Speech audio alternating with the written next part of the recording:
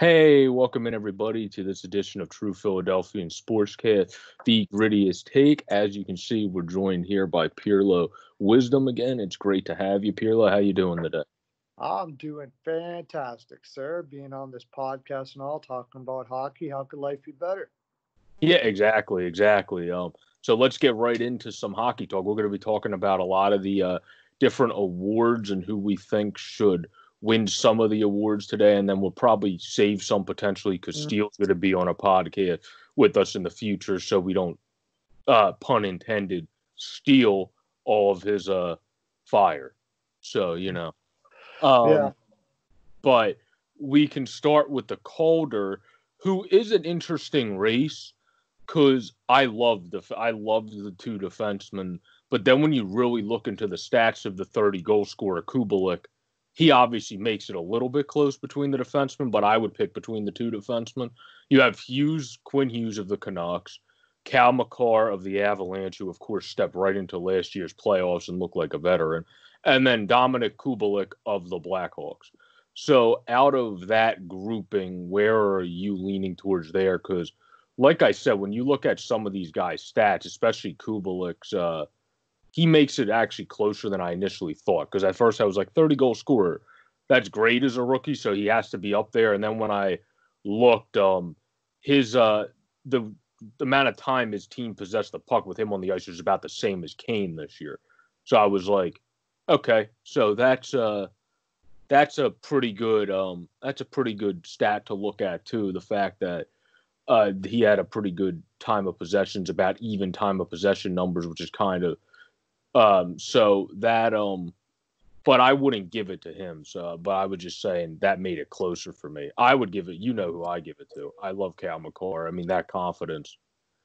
How can you? How can you? Uh, like when he backs up that confidence of stepping right into a playoffs and basically scoring in a millisecond, uh, to put together this season. I feel like that's why I give it to him, where it's almost unfair to Quinn Hughes um, but it's just the way it is because he stepped in last year, did great, and then impressed me more this year, where Hughes just didn't have that last year factor, which is probably why my voting would go to him. So I think that definitely kill, uh, is, is definitely plays a part. That Makara has that playoff and uh, like just has that already ha- has already rolled into from last year, so it's like more of a window of of uh, uh, uh, to to see how good he is. Like you have more of a he he's consi- can did it for longer is what I'm trying to say. Uh, he's did it for longer and he just looked. I don't know. I love Quinn Hughes. I think he's a fantastic. He reminds me of Fowler in a way, but maybe even more with off, more offense than Fowler. Mm-hmm.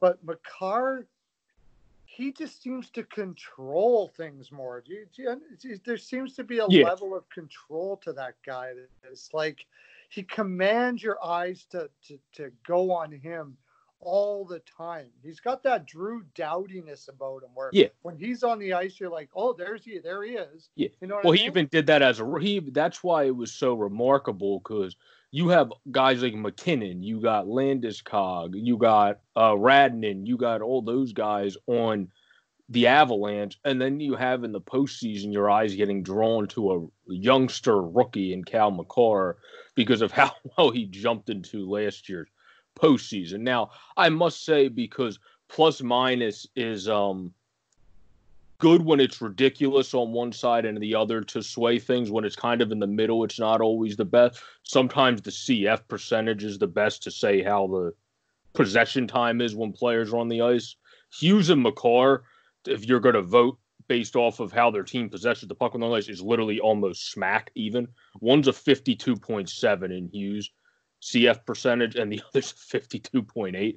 So you literally couldn't vote on that you would be like, well, their team literally possesses the puck the same with these guys on the ice. I can't. That doesn't help me at all. Um, so like you would just have to vote on your wits at that point. Uh, you wouldn't even be able to go. Like a lot of their analytical stats are pretty close. So if you're someone that votes on that, these two guys, you kind of just have to go with your wits on uh, who you think should get it. Yeah, I mean, 50 points in 57 games for for 21 year old kid. I mean, mm-hmm. for Makar, I I I like I love Hugh. I like them both. I mean, everybody loves them both, right? I I just oh yeah, I don't think anybody dislikes any of those rookies. I mean, I, I would throw Cooper. Makar as a guy that's going to not only be on fire offensively and he's solid defensively as well. So is Quinn Hughes. I also see a guy who could be a captain of a team. He just demands attention, this kid. There's something about him. That's the best I can say. There's just something about that guy that draws your eyes to him as soon as he gets on the ice. And I think people look, he's a guy that people are going to look up to. Um, yeah, I, I it's you know, like you said, it is very unfair because if it, Quinn Hughes was in most any other years, he'd be the landslide. You know what I mean? Well, there's sure. also there's also something to be said.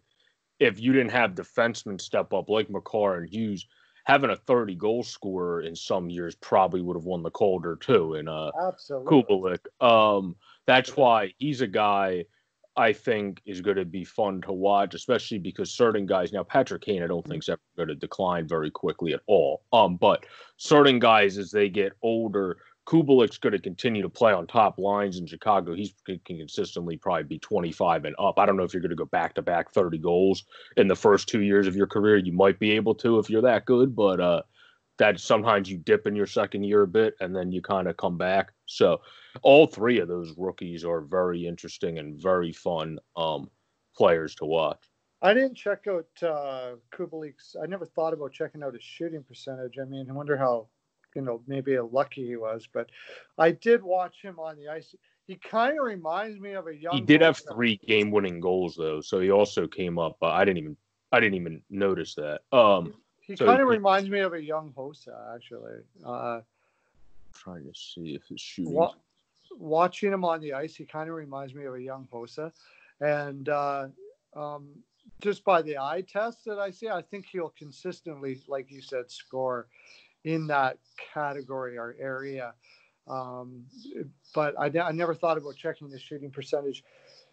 He's a solid player. Um, he's also older, isn't he not? he's an older rookie mm-hmm. as well, and I think that kind of works against him a little bit as well. But uh, just being, yeah, Kubalik's 24, yeah. 24 years old, so he's an older rookie. It's not very likely. I I would actually go as far as to say I I, I think I would have rather seen Fox there, but the NHL really just seems to don't seems I don't know they seem like they always want to even everything out all the time. Kubalik is is a fantastic player deserves honors. But I, I liked Fox's possession. I like Fox's overall the way he was his use. I'm assuming. Don't you think it could have been because they didn't want to get bland with three defensemen? Yeah. The, I th- yeah, they they wanted to have a different. Uh, they didn't want to have three defensemen. Yeah, which doesn't really make much sense. But honestly, I think Fox can be in the same category as Makar and yeah. Hughes as level of defenseman. So Mm-hmm. Uh, yeah, because yeah, they showed the stats screen. Obviously, you only uh, we'll get to the Norris later, but you only nominate three.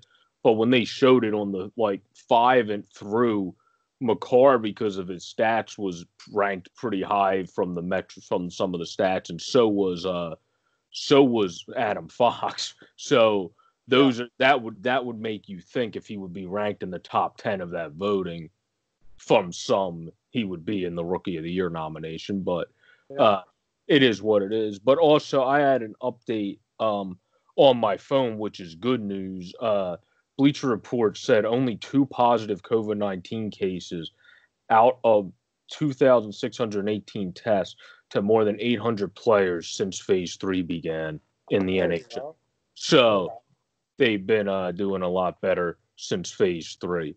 But now uh, we could move on to this is a uh, interesting one because obviously one guy has well one guy has um dominator like stats just not in the amount of games uh played is uh Hellebuyck but where do you peg the Vezina at? Because Tuukka Rask, like I said, has absolutely ridiculous, almost like Hasek stat, but played in 41 games. And then I want to say Connor Hellebuyck played in 50, high 50s, like 58. So, so where would you peg that? That's a tough one. Uh, we I- put. Sorry, go ahead. Yeah, well, Uh, I got Hellebuyck. you got Hellebuyck because he was the carrying uh, weight of. Yeah, maybe not in maybe it's not maybe not fair. I guess none of these things always, but there's always reasoning behind it. Uh, is Tuukka Rask going to have those stats behind that defense? Maybe, but the fact is, Hellebuyck did have those stats behind that defense, and let's face it, that defense on paper looks pretty poopty.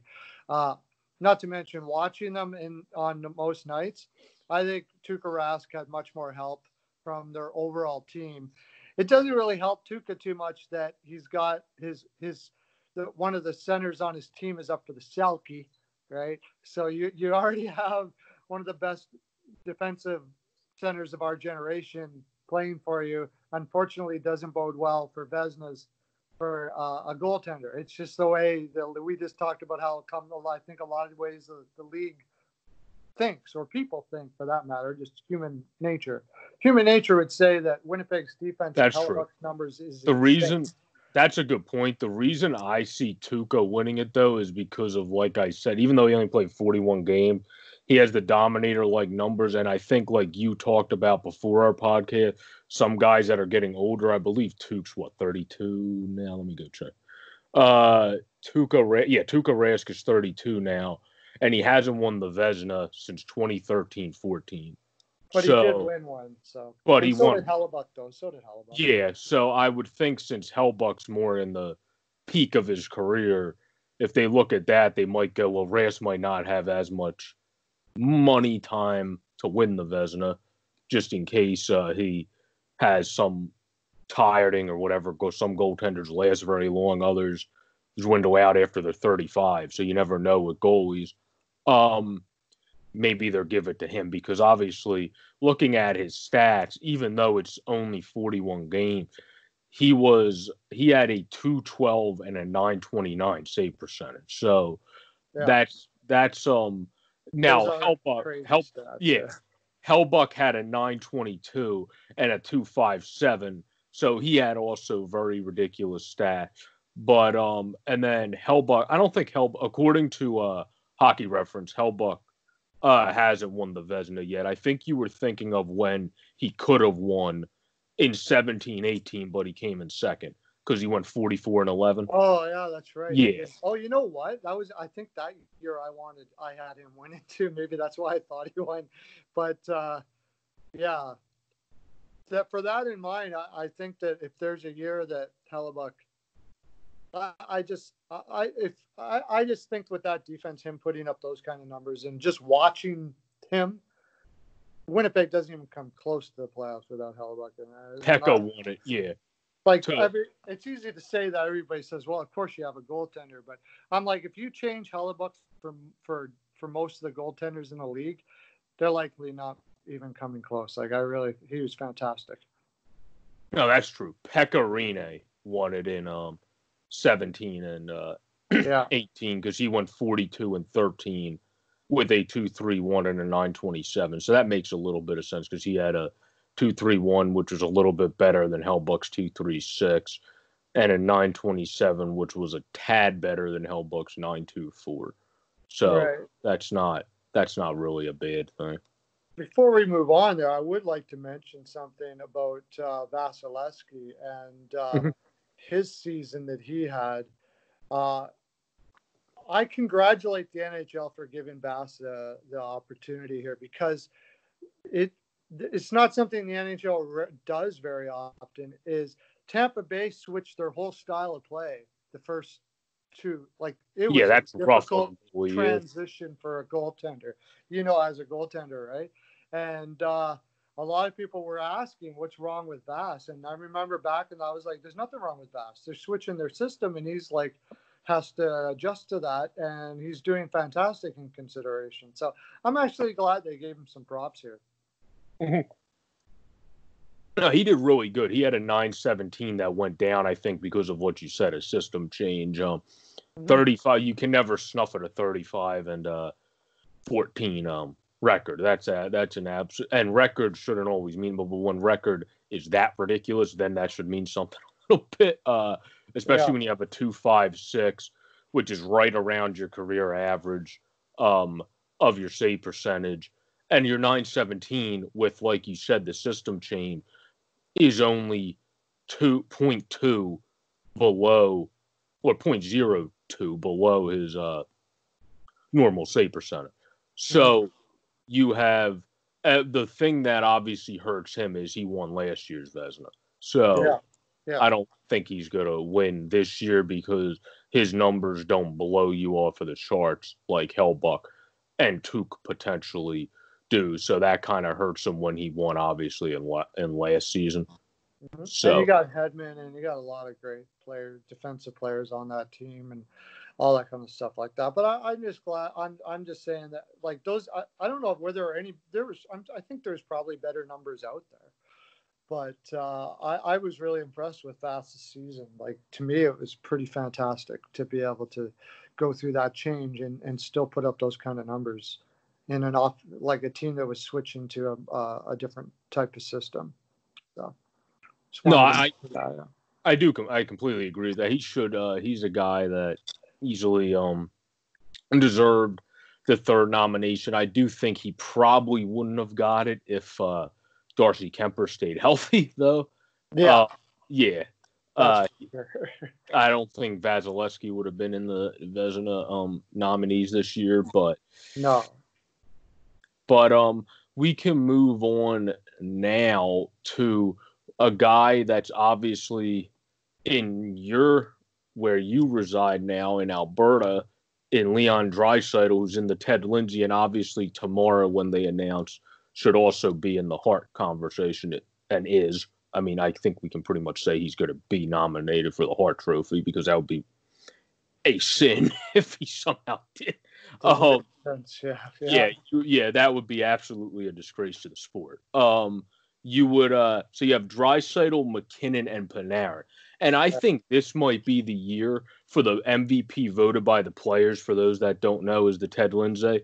Uh, that it might actually be easy to pick it because normally the players' minds are hard to pick, but because Crosby got injured, Crosby's usually in the Ted Lindsay nomination, and like it went to Price normally the players go with the guy that has it has that great career and they know he's still good. He's just on a not well, Crosby's on a great team, but they gave it to Price because he's not on his great team. But Crosby's still doing his thing, and he did good this year. Problem is, he didn't do great overall when he came back because of core muscle surgery. He just did good on the offensive end, so they didn't put him in there. But that's why I think this year almost makes the award the easiest it's almost ever been to pick the player's mind potentially because if they look at it from your guys' perspective, Nicholls, y- Yzerman, excuse me, um, Gretzky, and Lemieux have had 150 point seasons. At one point at this stretch, they said it was on NHL Network the other day. At one point this season, before their stats went more to today's game, um, Draisaitl and McDavid, and then McDavid, of course, got injured. We're both on pace to potentially be on those seasons. And then their stats went to more normalizing, but that's also because other players like Yamamoto came up and stepped up scoring, and you had other guys, Kassian played well. That's because they didn't have to do everything, and guys stepped up more around them as well. So that's why I would think for me, it's going to go to Draisaitl because if I'm a player and I look at that, that's only happened with four other players, other than a guy that also I can't remember his name right now but somebody did it in the World Hockey Association with the Nordiques. But other than that, so there's five people, but there's four people in the NHL. So, yeah, I think it's going to go to Draisaitl as well. Um, but if if for some reason it went with went went, I personally personally I think it's a wash. I can't decide between MacKinnon and Draisaitl. I I loved MacKinnon led that Colorado team extremely well. Uh, he was just they're both fantastic to watch. I just I love them both, and um, I'm an Oilers fan, so for me to say that says a lot. But for all the reasons you just said, if you're looking at what the players are going to think, I agree. I think Draisaitl will be the pick, will be the one there. Yeah, because I just think if you vote on as a player, the pace they were on at a certain point and the pace that those guys have a chance to be on matches um in recent in the years coming, I mean, matches the Crosby and Malkin tandem that was made for years. Yeah. So mm-hmm. you're already seeing it. I think that's going to get awarded. Draisaitl pulled a, if you want to call it Crosby or Malkin, whatever one you want to call them, but whenever one gets injured, the other one goes, "Don't worry, buddy, I got you," and then just turns into even a better version of themselves. And this is the year that we really saw Draisaitl do that uh, when McDavid went down. So that's huge for him. I think that's gonna that's what I think is gonna clinch it for him with the Lindsay and also when we see his name come out for the Hart Trophy. But that's going to come out tomorrow what those nominees are. So I completely agree with you on that. Um, this one is one we already kind of talked about on a podcast, so we'll just go through it quickly. But the uh, Jack Adams, I think personally, I think it's between AV and Torts. Uh, I think Cassidy's a great head coach, but I kind of said it in my video on my uh, YouTube channel, Sports Phanatic News, about the uh, the thing. Um, he got in there because you're going to put the President's Trophy coach in the Jack Adams discussion, most likely. So no matter what, he's going to get in there. It's not like he coached like he coached good, but he had a, one of the best rosters. So if you coach bad with that team, then you just shouldn't like be coaching because that just like that just shows you can't really you're not really cut out to coach in the in the National Hockey League. Like so, yeah, but um, but that's why I personally believe it's it's a toss between AV and Torts because Torts obviously brought a team that you didn't expect to absolutely like impress you. You, you didn't even expect to make the playoffs because they didn't even have starting goaltending potentially going into this year. They had no idea what they were doing. And then Korpi stepped up before injury, and then Merzlikins went like eight and two or whatever. Like he went like on like a ridiculous stretch, whatever it was, and like he played amazing. So both of those guys played absolutely amazing for them. But then here, AV finally got a roster that we knew had talent and capability to actually play to their talent and capability and grow the youngsters' talents and capabilities, which is something that Hakstol, because he wasn't ready as a coach, was very unable to do. So um, that's uh, that's why it's a very big toss up. I um per- personally because of not even bias, but I would lean AV because Selke nomination too. Couturier's always got snubbed. And finally, an AV system that really moves the defense to the offense, he finally got in the Selke nomination. So that's a big help of, I think, also Coach Alain Vigneault, Provorov having an absolutely magnificent season coming back and really starting to obviously reestablish himself again after a down season that I don't think anybody was really worried overly worried about. At least I wasn't. I thought so. Uh, he really had a great year. Sanheim had his best year. Meier. I think all those things having the youngsters, which showed how he's grown from each of his spots because he wasn't the best with that in Vancouver. He got good at that with uh, the Rangers, and then has really been good at balancing everything with us. Uh, that's why I would give it to him, but it would probably be by like, and this, and even on the Flyers fan, it would probably be by like that much of a margin because like it wouldn't be by a big margin. Uh, I love AV, you know that, uh, but I get I, it's not a small margin for me. Tortorella just did stupid things with that team. I'm a capper for a living. B-Pal picks if you want to check it out. It's pretty cool. People make lots of money, but I'll tell you, I lost money. I love Tortorella, and I still underrate him all the time. I lost money betting against Tortorella's Columbus Blue Jackets this year, probably more than any other team. And uh, um, I, I, on the on the opposite side, talking about Philadelphia, I made money a lot with Philadelphia because uh, a lot of people undervalued the lineup that they had and AV's uh, impact on that team was fantastic. Um, so I, I bet on them a lot. But he just keeps on, uh, Tortorella keeps on blowing my mind constantly. Like he just keeps on doing things more. Every time I think, okay, this is it, it's no way, not even towards, boom, he does it again, does it again, does it again. I think he's the greatest coach of this generation. Honestly, I really do. And that is saying a lot when you're talking about wonderful guys like AV, who we've talked to at great lengths. Um, I go with Tortorella on this. Um, I'm, could AV do the same thing, Tortorella, with that lineup? Possibly, but he didn't have the opportunity. Um, I, I talking about Philadelphia and what AV did, what he did with Hayes. Oh, what a in one year. I mean, Hayes was always very good. He was going to be a good two-way guy, but with AV's guidance, he looked close to Selke level.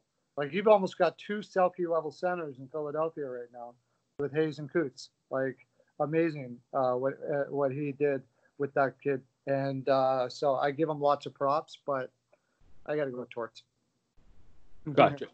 Yeah, I think uh, they're both some of the best motivators in the game too, from a different stylistic point. Obviously, uh, AV doesn't get to the red in the face, yeah. about to pass out and die, yeah. yelling of John Tortorella. Yeah, Tortorella. yeah, definitely uh, not conventional. That's for sure. No, uh, Tortorella looks like he's about to have a heart attack sometimes. he's not like, actually all that conventional. No, either. no, he's other, not. but but on a different things, perspective, though. like not yeah, on the others. AV, almost, A, he almost appears like he's too player friendly, but uh, in some ways. But uh, he's great. Yeah, it's great. So yeah. happy go like funny and all that. Kind of like Paul Maurice, who I think yeah. didn't get enough props here. I think. No, I believe I believe that as well. I think Paul Maurice. Paul Maurice was one of the guys that I talked about when, like I told you before the podcast, Andrew and I, for people I want to go back to check that out before we started doing videos, it's on Anchor, it's on Apple, it's on Spotify. We did on the grittiest take an NHL award show pre before knowing all the nominees. And I brought up Paul Maurice because he should have got some credit. He was with a team I didn't. You lost three of your defensemen before the season in Myers, Byfuglien, and who was the other? Uh, My I went Byfuglien and. Let me think about where. Yeah, I'm trying to think. Oh, uh, Chiarot. Yeah, you're talking about. It, yeah, it, it was him. Chiarot uh, from Montreal. Yeah. But um, so you lost a bunch of guys, and there you just figured it out, and that's almost like being able to like how Torts not to the degree, but just like went, okay, yeah, this works for me. You you go here, let's throw you over there and put yeah. you here, and then it just somehow worked. Like Nathan Gerbe, of all people, if we're going go back to the Blue Jackets, yeah, yeah, yeah, Columbus came back into the NHL and looked good. Yeah, like he actually looked like what people thought he could be when he got drafted because of his skill set. He was just obviously very short, but people thought because of his skill set, he could actually have been something, and it never really panned out. Torts yeah. made him look like he could actually be a decent player, maybe yeah. be a depth player, a fill-in player. Which, by the way, is the reason also why I think Hellebuyck will win the Vezina. If because Maurice didn't get the vote, it the, the the look will be because Hellebuyck was such a good goaltender. That takes the shine off Paul Maurice, right? So, and I I think it's more to do with the fact I think Hellebuyck probably is as good as he is because Paul Maurice's system allowed for that to happen with that defense in front of him. It's always a give and take there. It's hard to judge which which is more valuable than the other. It all works together.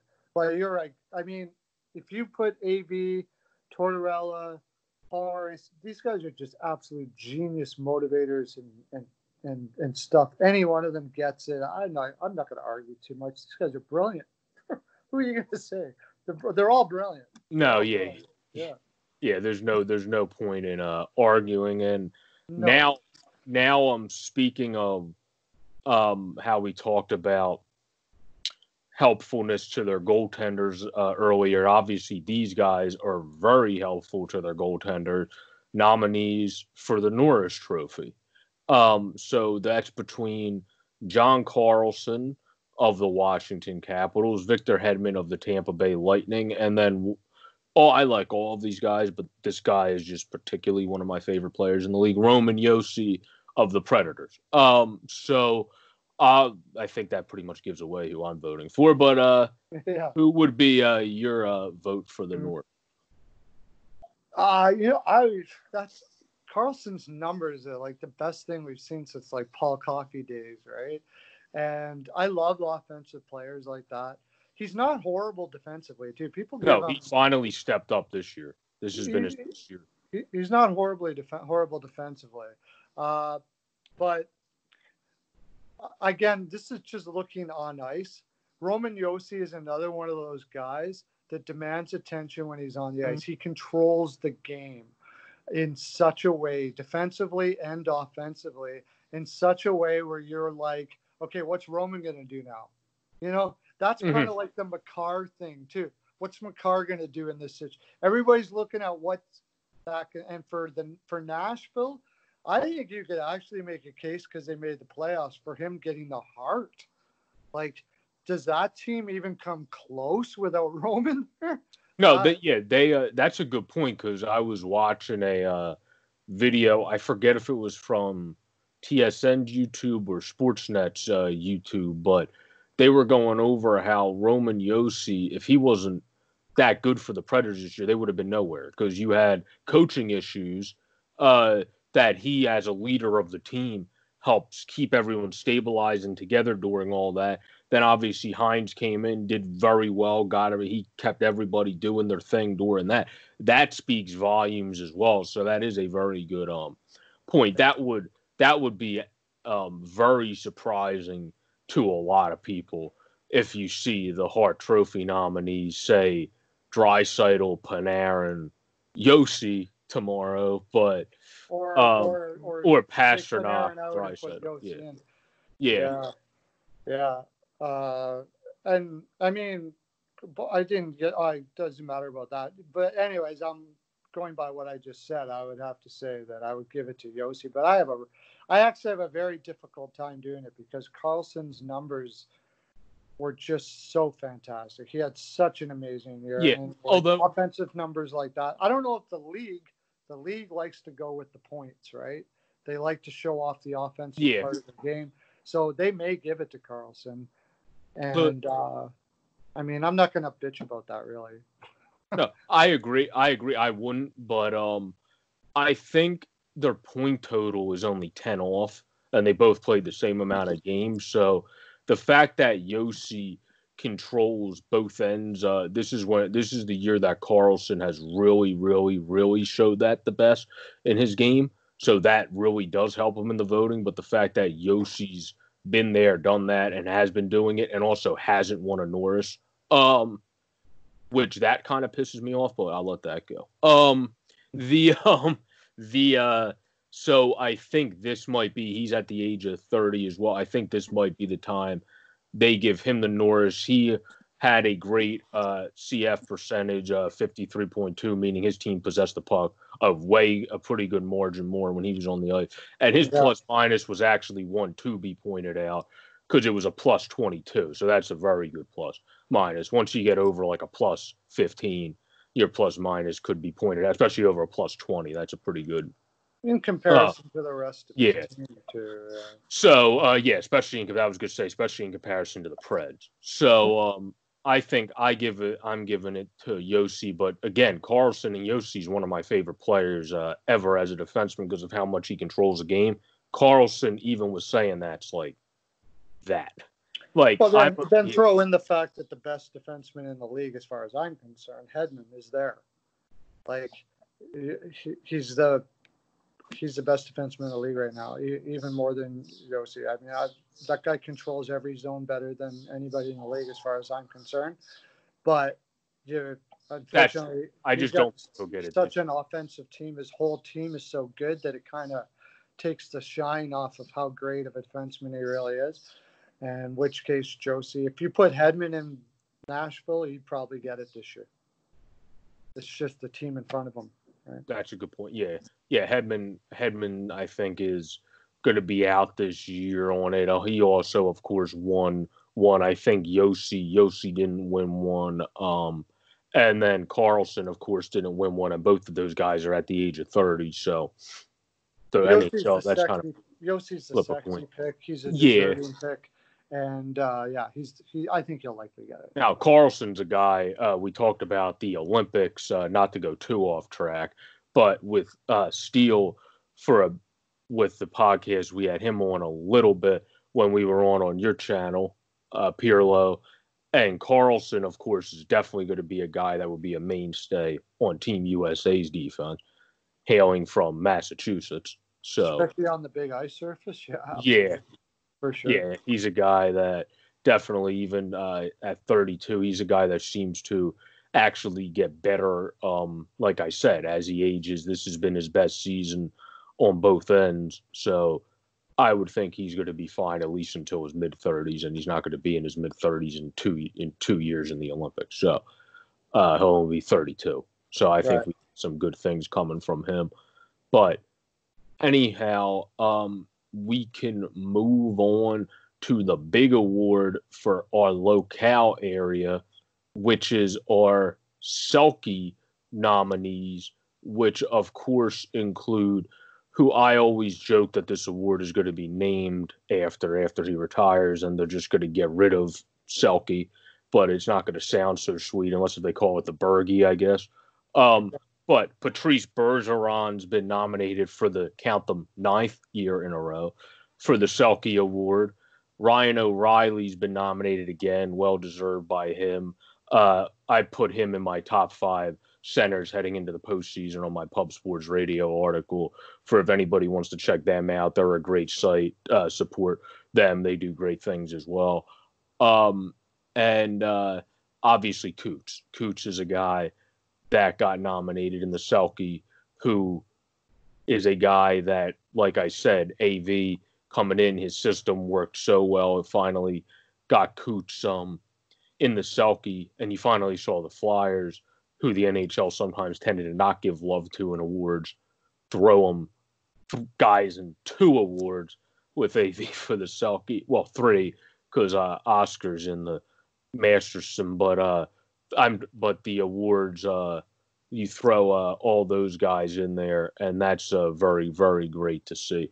So, who do you think you're giving the Selke to? It, I, I'm not giving it to Bergie. Bergie's been there, done that. Need some new faces. So I'm kidding. that's just not happening. But who do you think you're giving it to? Well, that's why. Yeah, could- that's really why. I mean, Ber, you could give it to Bergeron every year. He's the best defensive center of this generation. hmm Maybe Datsyuk, you could put that up there. I mean, there's lots of there's some guys, but he's he's just on another level as far as a two-way centerman in the league is concerned. Definite first ballot Hall of Famer, amazing player. Love, love, love. But uh, and the league likes to mix things up, and he's just not that much better than a lot of other players. And they also like to have uh, new faces for people to celebrate for a lot of reasons. And uh, I think Coots is a guy this year. Um, or with uh, O'Reilly didn't really have the offensive numbers this year as he did before, I believe. And um, yeah, he was a good defensive player, no doubt about that.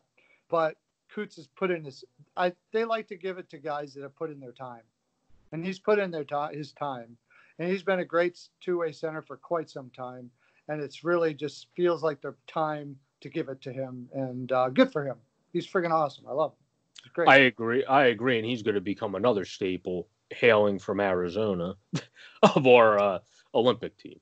Uh, so another guy that's going to be a big guy on a Team USA's Olympic team, and he had uh, O'Reilly played great this year, and I love him as a player. But compared to all the people in the Selke, his defensive numbers were actually the lowest th- this year compared to everybody else. Uh, with his offense being the lowest. So that's why I would say Bergie would probably play second, and then it would probably be O'Reilly placing third, and then I would think uh, Coots, I agree, is going to get it this year. He had again at a plus minus that wor- that's worth mentioning because it's over a plus twenty, so a plus minus of 21. His Corsi For is a 57.2, and his career average is a 51.9. So that that's a massive jump. Um, and his career average, which uh, the offensive zone start percentage, which for people that don't know is offensive zone faceoffs divided by offensive zone faceoffs plus defensive zone faceoffs, is a 51.3. That almost went up 10 because his career average was a 43.2. So even looking at all those analytical, a couple of those analytical stats that I know all the voters love looking at, that would really favor Couturier for how much he jumped uh, from all of his career averages in those as well. Right. And uh, again, another reason I yeah, well, no, I can't say that. Um, you can give AV a lot of credit for that as well, but I mean, Couturier was always up there, has has been up there for quite some time. Uh, people, I just love Couturier, and it's time to for him. For I think it is time for him to be celebrated because uh, he's he's worked hard to get those offensive numbers that he has. Forget about his defense. I mean, he brought his offensive game with the uh, after the defense almost. Like he, he worked hard at his offensive game and that's rare. Bergeron was more of an offensive player and he and he was good defensively and he became a great defensive player. Couturier was a great defensive player and he's become a great offensive player. And i think that's something to be celebrated because it happens rarely in this league that a guy works as hard as he does to gain his offensive game and now you you you got a guy that can play against everybody's top line every night and still put up a point a game. That dude deserves a Selke, at least one in his career. I imagine it'll be more, but it might be a little difficult to beat Draisaitl in the upcoming years. So that's going to be the difficult thing. They're going to be, uh, yeah, they're going to be guys um, that play really well because I know when Draisaitl came into the league, uh, when I was reading some articles, some of his comps were to um, a guy that I uh, always liked over at the Kings. Obviously, he doesn't skate as efficient as he does as he used to, but um, Kopitar, who was up there for Selke's young in his career. So, um, and even in some people's voting, when I read articles, was still in the top six or seven of their voting for this season. So, um, depending on who you looked at. So there was um there was a lot of stuff on his comparison, and that's uh that was a good comp. And obviously, if you get, and I think Draisaitl because of his um ridiculous athleticism that Kopitar had, but I think Draisaitl even has a notch up, probably wouldn't have that decline a little bit quick. Where although we did see Kopitar step up and play pretty well this year on a depleted team. So I do have to give him props for playing pretty solid this year. Um, some of his metric stats don't look great, but like I said, he's on an awful team. Um, so that's going to play into that. Um, he played pretty well for playing on a absolutely downtrodden team this year. So, yeah, for sure, Kopitar. Yeah, I mean, and look what happened at the end you could make a case that it might have been better for LA to make the playoffs rather than the Montreal Canadiens. Really, I mean, they the way they played at the end uh, at the end of the season, uh, they looked like they were a pretty strong team, and Kopitar is certainly part of that. Drew Doughty, they got a lot of veteran. I don't think that rebuild's going to take as long as people think.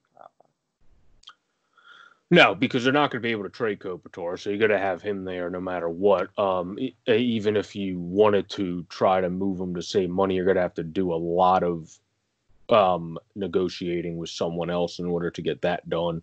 So I don't see that happening very Not easily. That, he's got a no movement clause. So yeah. Go, yeah. Also, you're gonna have to do a lot of negotiating with him. Yeah, that's a good point. Yeah. Um, but yeah, that's a uh, thing going forward. But I agree with you. They're a team.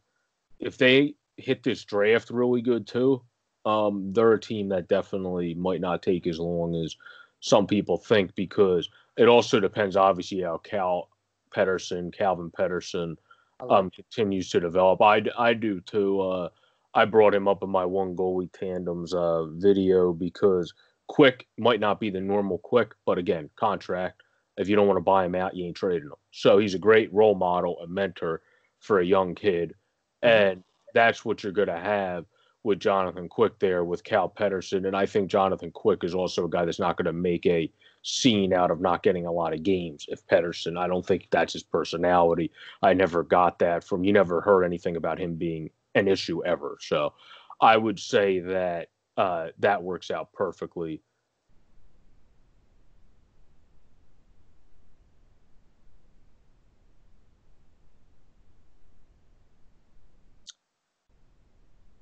Hesitated but, there in a second. Yeah.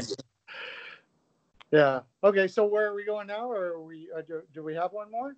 No, uh, I was gonna save all the other awards talk because if we do one with Steel, obviously we got the Hart uh, coming out uh, tomorrow. Then we can get some of uh, Steel's opinions uh, quick. If he disagrees with us on some of our stuff, then we can get good talk going and all that. So I figured I'll leave some stuff, but this has been a great episode. We kept it at a great time too, at like the 45 minute mark too. So that's a pretty pretty time. Um, yeah, yeah, we did a really good job. So we thank everyone for joining this edition of True Philadelphian Sportscast, the grittiest take. Pearlo, do you have BPAL picks? Uh, mm-hmm. follow Matt, and then your pure Pearls of Wisdom, your Pearlo Wisdom YouTube channel, correct? Yeah, and my NHL Pearls of Wisdom on YouTube. You can come see uh, some fine stuff we're doing over there. We're talking about a lot of trades, and I like to get everybody involved. If you like to uh, comment in the comment section, I'll put it in videos because I think you guys have some great hockey minds out there as well. And uh, like, and also uh, BPAL Picks is where my bread and butter is, and we do uh, gambling picks. We help people with uh, picking and investment as well as far as uh, picks like that. A lot of the people, our customers, do not even follow sports at all. They just are part of us because of investment purposes. So you can find that on Patreon and also on YouTube, BPAL Picks. Thanks for having me, man. This has been freaking awesome, like usual. Yeah, yeah, we appreciate having you, man. It's been very, very awesome, and like he uh, said, this has uh, been very great, and this has been True Philadelphian Sportscast, the grittiest take for Pearlo. I'm Joe Borg. You can find me at JJBorg26 on Twitter, True underscore Philly Sport on Twitter for our podcast, and for Instagram, spelled out True Philadelphian Sportscast. Have a great week, everybody. Peace out.